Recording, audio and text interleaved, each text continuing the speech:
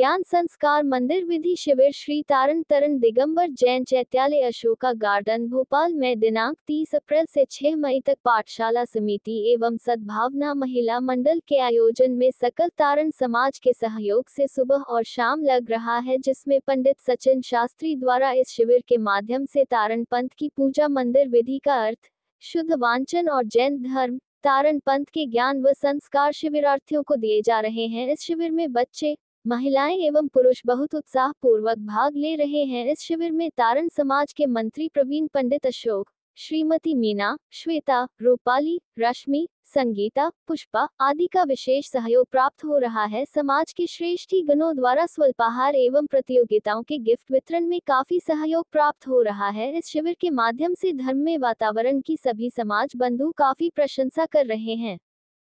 मेरे सभी साधर्मी जन बड़ा शुभ सुयोग है गिरिजी कलन शिविर में गोपाल संस्कार शिविर प्रायोजित किया गया है।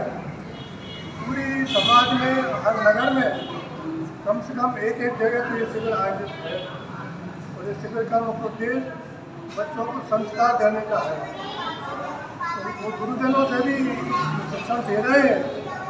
उनसे भी ऐसा अनुरोध है। महाराज को गुरु को अपन जानते तो हैं, मानते तो हैं। अगर मानना अलग बात है और जानना अलग बात है। मानते तो हम परंपरा से ही हमारी परंपरा है मान की। अगर हम जाने कि शिक्षण हमारे शिक्षण जाति लोग दे रहे हैं तो बच्चे संस्कार बने अच्छे संस्कार लेकर के अपने परिवार में जाएँ, रहें। परिवार के लोगों को भी लगे कि बच्चा कुछ सीख के आया है अच्छा चल रहा है। रहे।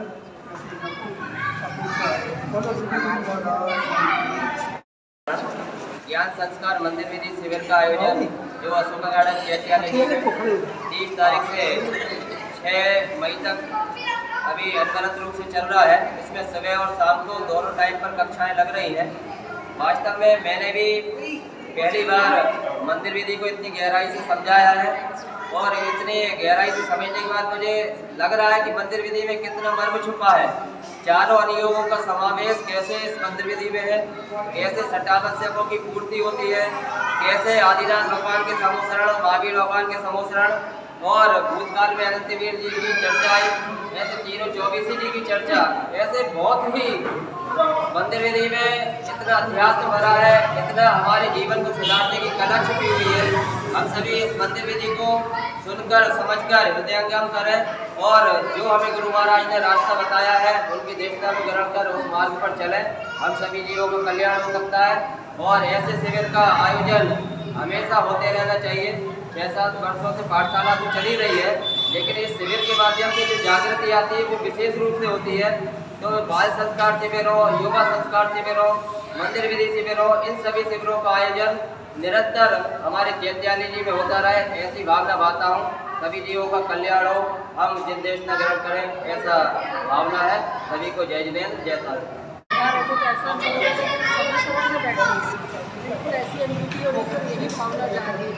और हमारे आगामी समय में भी शिविर लगाने की और के शिविर होना चाहिए हमारे प्रवीण भाई साहब जी सहायता की है उनका बहुत सहयोग रहा है और महिला मंडल सभी पहलू में